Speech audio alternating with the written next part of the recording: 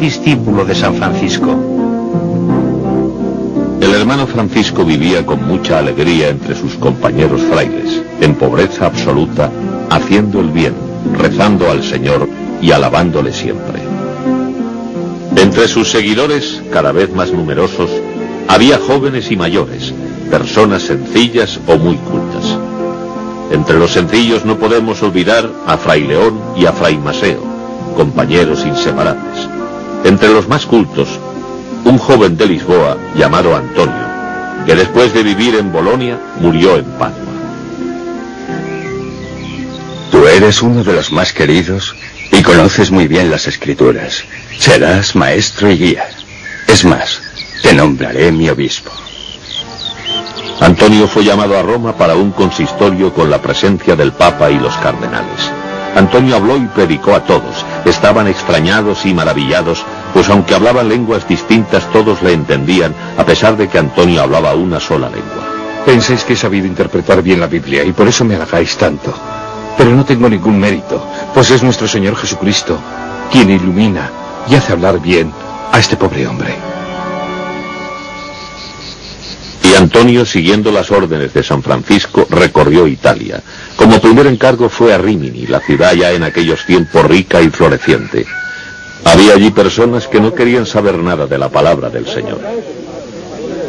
Me voy a mis quehaceres. A mí no me interesa la religión. Mis hermanos son charlatán, que vaya a trabajar. A mí lo que me gusta es el dinero y las diversiones. Él dice que la pobreza es su hermana. Vete, márchate, vete a hablar con los peces. A lo mejor ellos te escuchan.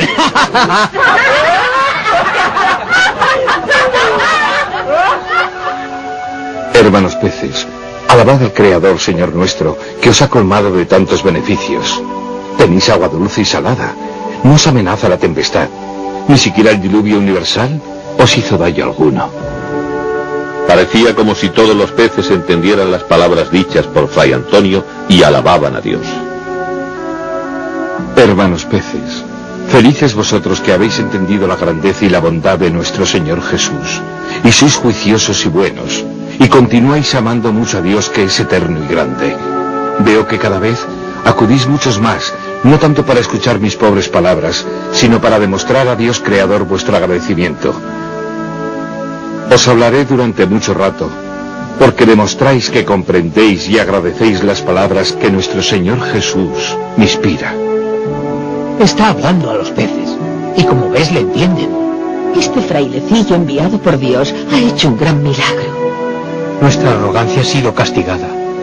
Así Antonio predicó a mucha gente, impresionando a todos por su gran humildad y sabia doctrina. Antonio desde Lisboa fue a Bolonia y después a Padua, donde hizo mucho bien, logrando convertir así a muchos incrédulos. Hoy todos nosotros lo recordamos como Antonio de Padua.